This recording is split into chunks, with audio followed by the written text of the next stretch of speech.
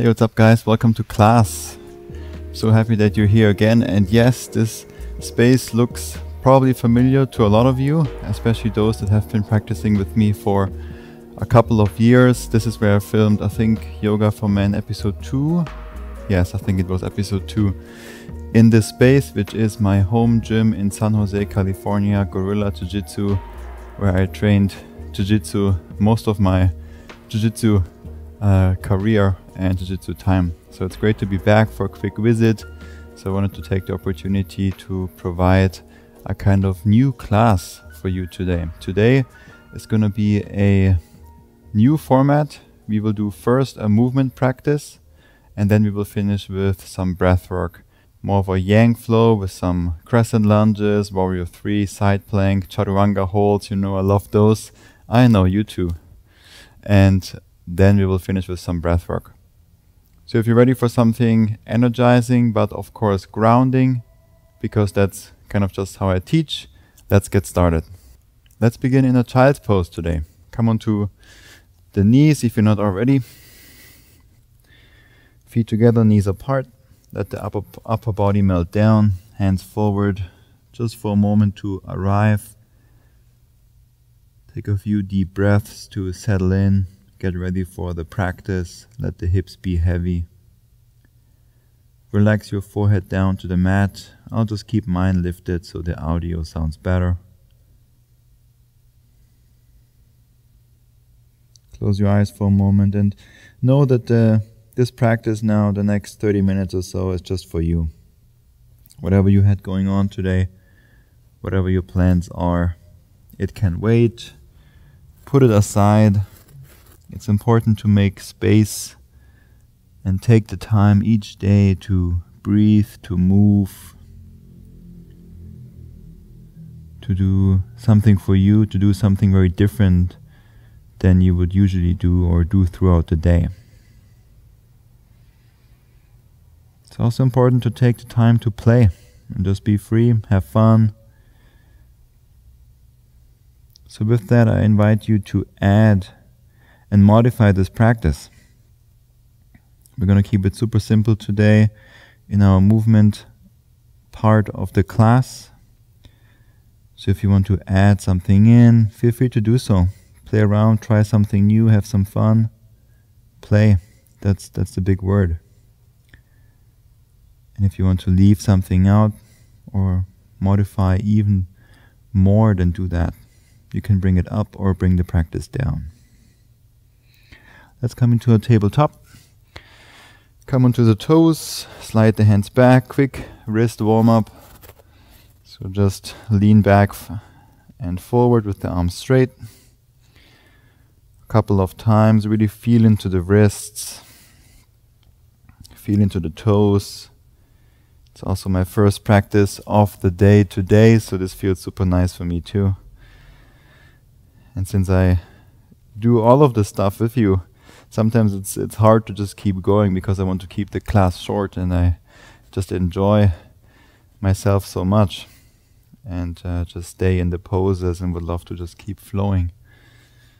Internally rotate the hands, but then I remind myself that this is not for me, this is not my practice, this is just uh, me sharing my practice with you and to provide you all the tools to live a better life. Externally rotate the hands, just five of these forward and back.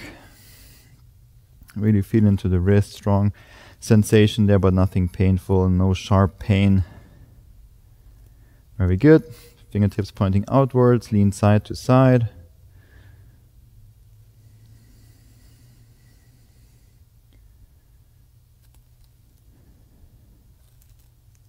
Very good. Now the fingertips are pointing back. Always kind of do the same wrist warm up. I keep it simple. This this one I just find is very effective. It just does the most for me, for my body and for my wrists to prepare for the practice. And I've tried like many different uh, wrist warm ups and exercises throughout the years.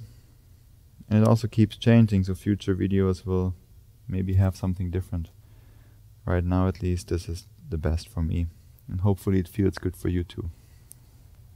Sit on the heels, shake out the hands. Very good. And let's come into a tabletop again.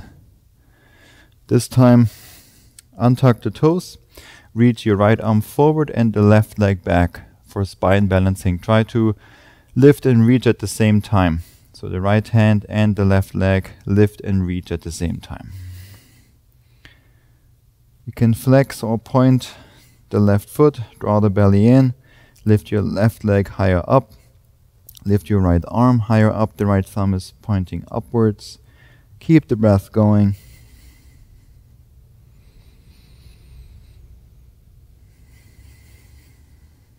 One last deep breath in. Exhale, release down. Very good. Other side. When you're ready, left arm forward, right leg back.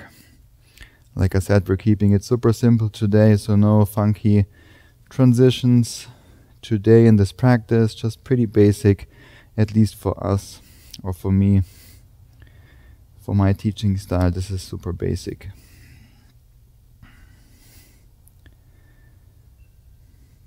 Last deep breath in. Exhale, left hand down, right knee down. Very good. Step the feet back for plank pose. Tuck your tailbone, engage the core. Shift forward, come high onto the toes, and shift back. Shift forward and back. Let's do three more. Keep the tailbone tucked, the core strong, push the ground away. Last one. Very good. Move the hips up and back for downward facing dog. Take your time to arrive, walk your dog, pedal one heel down or rotate the heels. Whatever you need to do for the next three breaths, just arrive.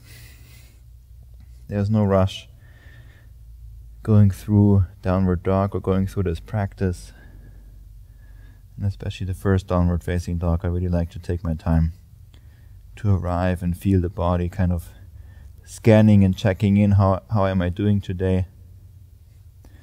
And that will usually determine the intensity of the practice.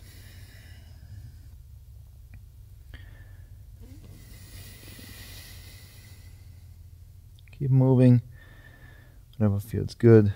Set up the breath. Ujjayi nice and slow through the nose.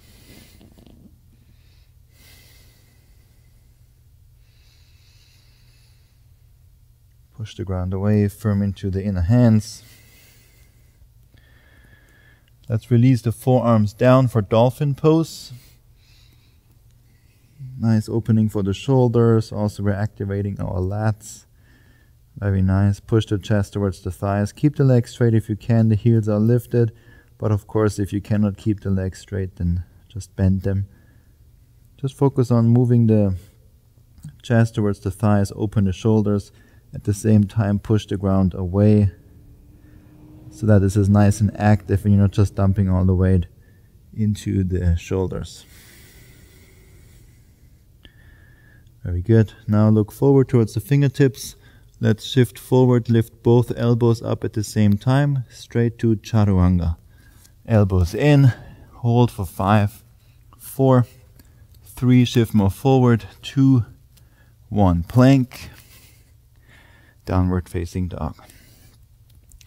Very good. Lift your right leg up and back, three-legged dog. Keep firming into the inner hands, push the ground away. Draw the navel in. Deep breath in, come high into your left toes. Exhale, right knee to the chest. Round your back, shoulders over wrists, push the ground away. Flex your right foot, step the foot between the hands. Rise up for crescent lunge on your inhale.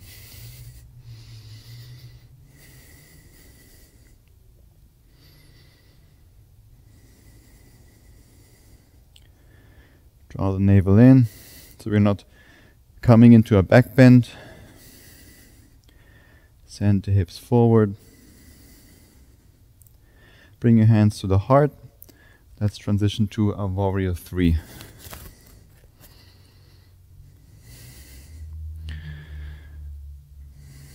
Bring the upper body and the left leg parallel to the ground if you can. Reach back through the left leg, reach forward through the spine. At the same time, lower the left hip more down. Press into your palms, that helps with your balance. Last deep breath in. Exhale, step the left foot back, Skandasana to the left. Bend your left knee, straighten the right. Take a moment here to perhaps let the ankle open up, the groin, the inner thighs. Move to the front of the mat, side plank on the left hand.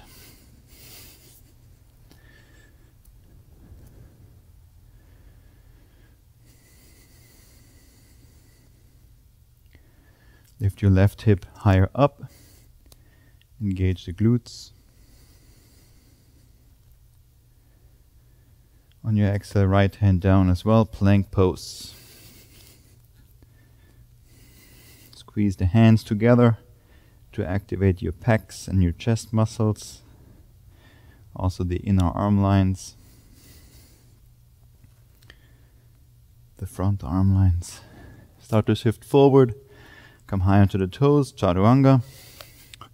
Hold for five, four, elbows in, three, two, one and a half, one, plank, push up, and shift forward, lower all the way down. Very good. Untuck the toes, and then start to lift only the chest up. Keep the feet on the ground and lower for 10, nine, eight, seven, lower and lift, six, five, squeeze the shoulder blades together, four, engage your glutes, three, two, one, hold, five, four, three, you got this, two, one, release down. Very good, check out the hips. You can transition however you would like to downward facing dog. I'm gonna go into an upward facing dog and then to downward dog. If you are choosing upward dog, engage the glutes, broaden the collarbones, last deep breath in, exhale downward dog.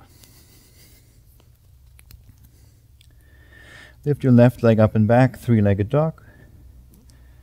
Move the chest towards the thighs. Lengthen with the right heel down towards the mat. Move the chest towards the thighs, towards the right thigh.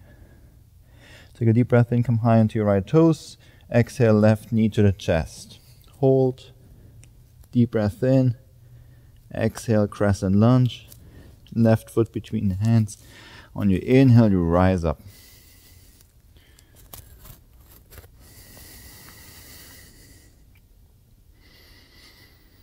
Slow the breath down, nice and controlled, deep ujjayi breathing. Tuck the tailbone. Reach the arms back towards the ears and up. Hands to the heart. Shift forward, warrior three. The right leg floats up. Squeeze your palms together, lower the right hip down. Really feel the energy lengthening forward through the spine and back through the right leg.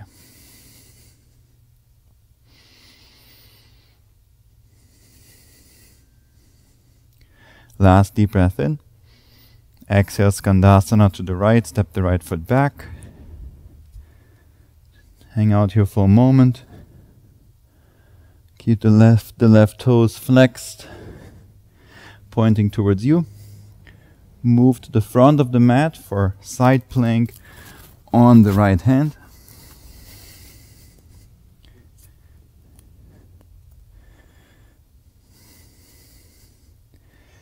Lift your right hip up, press into your right palm, reach the left fingertips up towards the ceiling.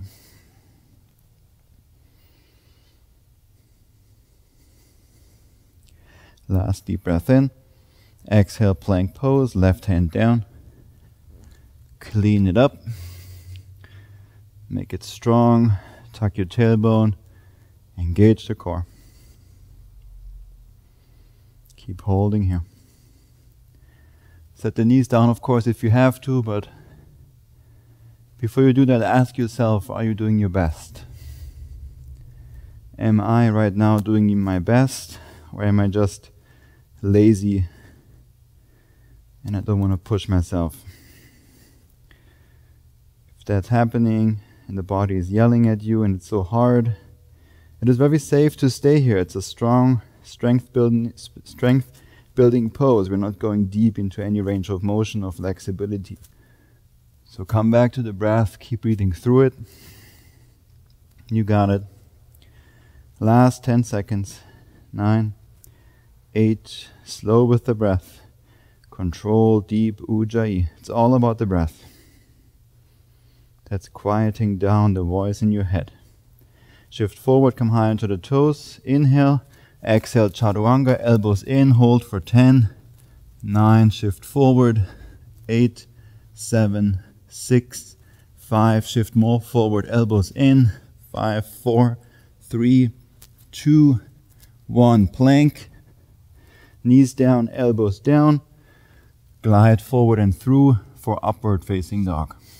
Engage your glutes, bring the feet as wide apart as the mat, Really important to create space for the back bend in your sacrum. Keep the core strong. Although you are lengthening the front side. Last deep breath in. Exhale, downward dog. Beautiful job. Take a deep breath in through the nose. Open mouth, let it go. Two more just like that on your own.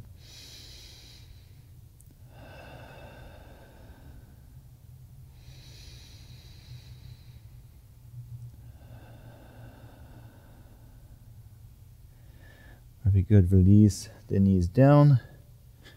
Sit down with your hips. You're going to rotate sideways, but you can go however way feels good. We're coming into a seated straddle forward fold. Bring legs wide apart and then walk the hands forward.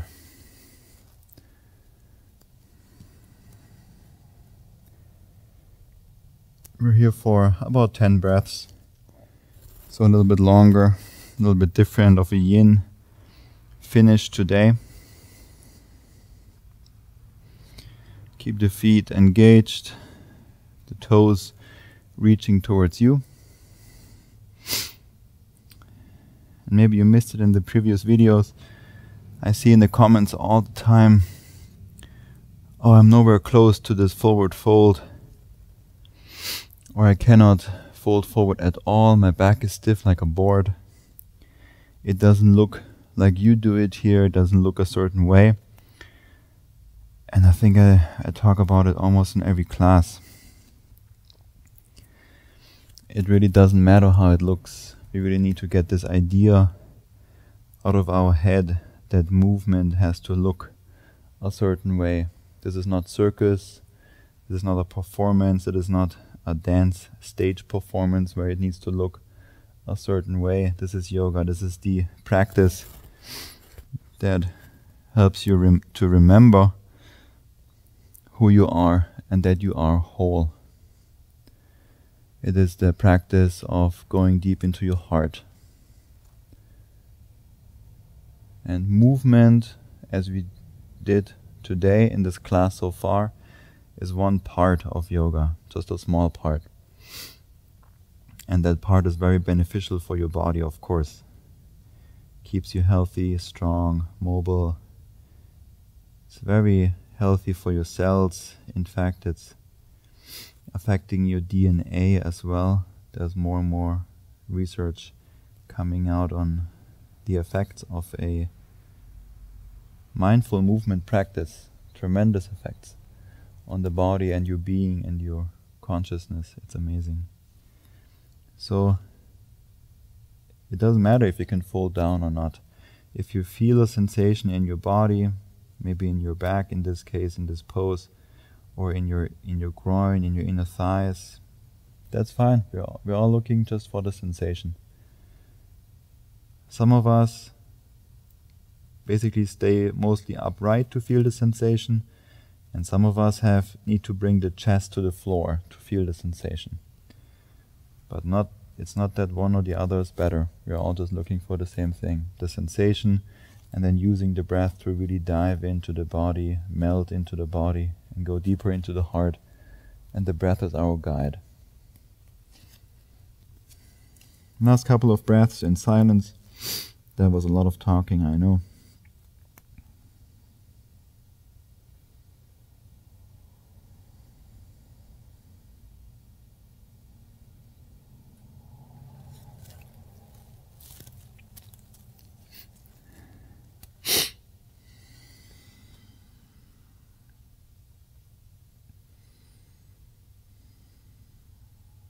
Use your hands to push yourself back up. The heart rate should now be at a comfortable level, hopefully. So it's nice to finish with a long stretch to slow down. Use your hands, grab underneath your knees to help bend the legs, shake out the legs. It's good to shake out the the part that you stretched because with the stretch basically uh, it's squeezing out the synovial fluid, synovial fluid out of your joints, and then uh, by shaking and kind of throwing away your leg. Imagine you want to kick and throw away your leg. You bring that uh, synovial fluid back into the joint, and that is what makes it so healthy to squeeze it out and bring it back in like a sponge. So that's why we do this. Find a comfortable seated position. Like I said earlier, short movement practice and then some breath work. I'm not going to go into too much detail with the breath work. Today we're going to practice Kapalbhati, the breath of fire. There's a whole tutorial on that particular breath work. Really nice, energizing and cleansing breathing exercise. One of my favorites I like to do because my energy is very grounding.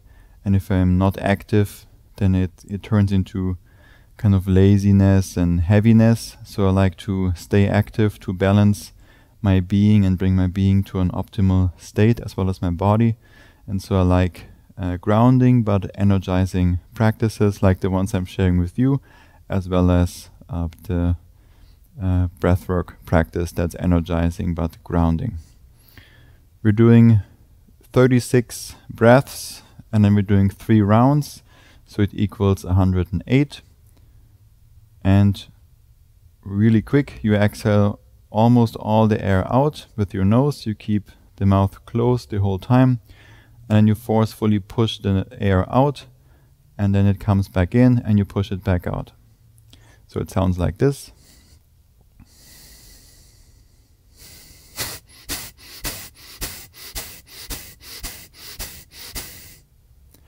And we're doing 36 of those and then times 3 so whenever you're ready, let's get started. I'm not counting or not queuing anything. Let's do the first round.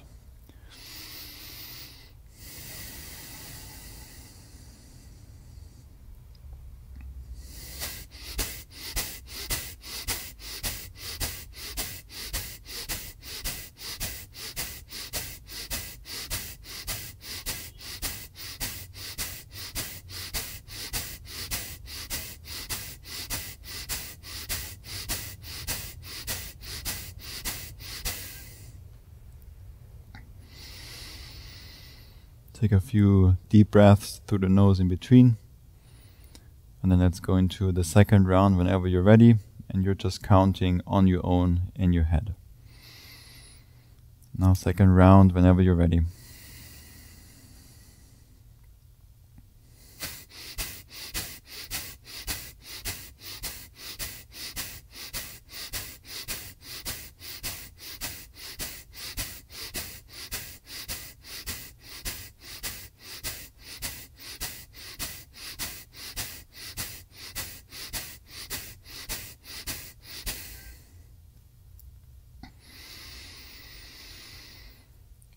Breaths, deep breaths through the nose. You can keep your eyes closed if you want. If you start to feel any tingling sensation or a little bit lightheadedness or somehow energy rising up, it's totally normal. It's the effects of the breath work and it's showing you that it works. Last round, 36 breaths of Kapalbhati whenever you're ready.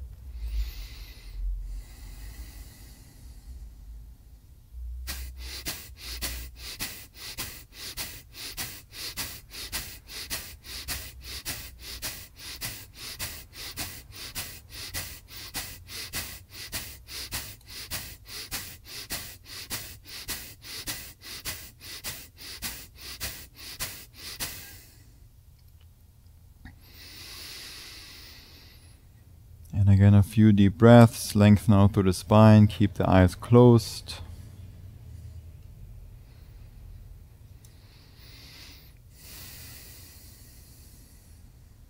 We're doing one more breathing exercise today to finish up the practice. We will then just finish in a seated position, or you can come onto your back later on to finish in Shavasana. We will conclude the practice today with Nadi Shodhana, alternating nostril breathing, where we use our right thumb and our right ring finger to close the right nostril or the left nostril. Let's exhale all the air out. Close the right nostril, inhale through the left nostril. Close the left side, open the right, exhale through the right.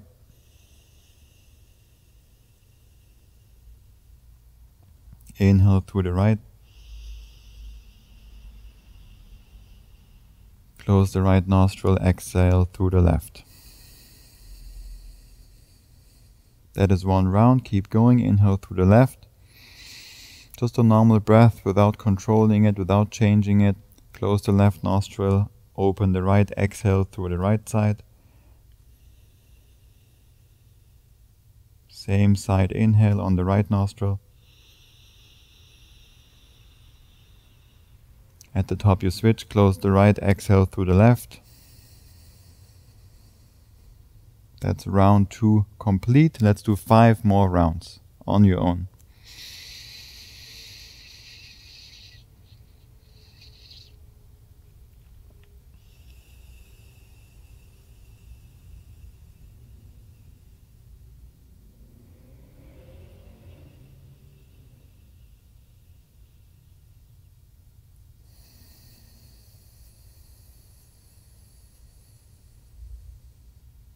Remember to sit tall.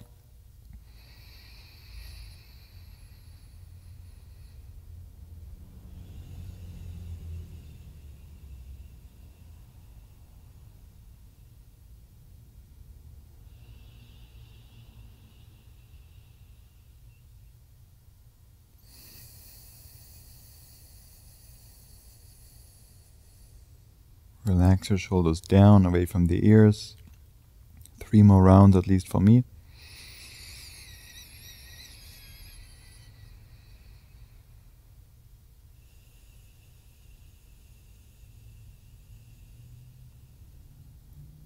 Deep breaths into the belly.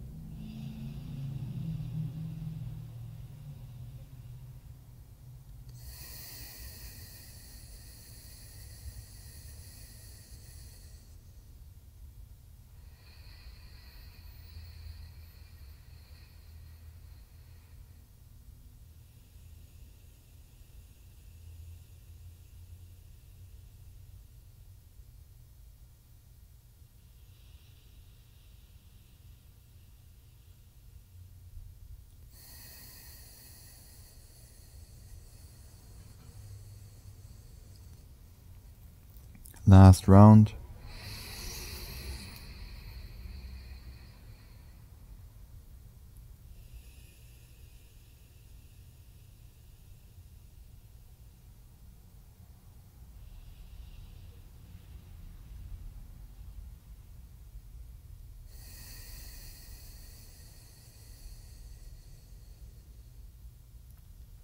Very good. Keep your eyes closed, sit tall.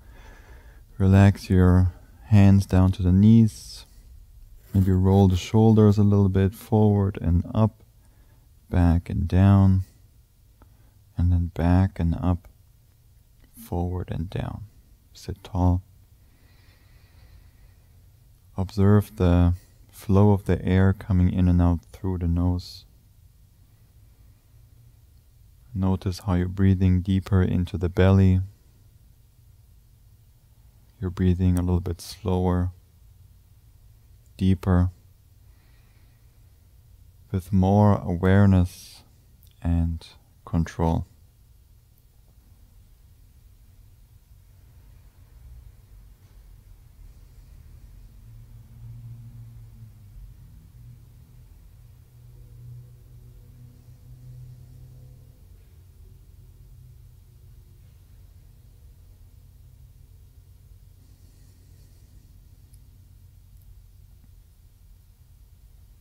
Continue observing the breath.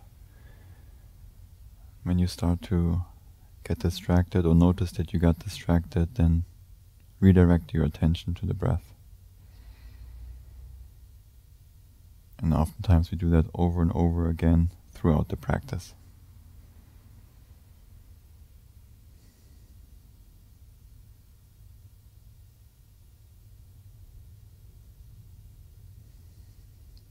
Feel free to Continue the practice, continue sitting here, observe the breath, continue with your meditation, or transition onto your back and finish up in Shavasana. Thank you very much for practicing with me today, and I'll see you in the next video tomorrow. Love and gratitude. Namaste.